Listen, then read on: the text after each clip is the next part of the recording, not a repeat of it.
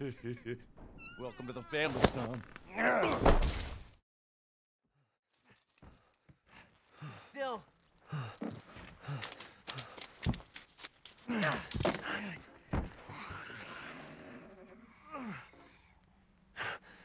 We gotta get the hell out of here.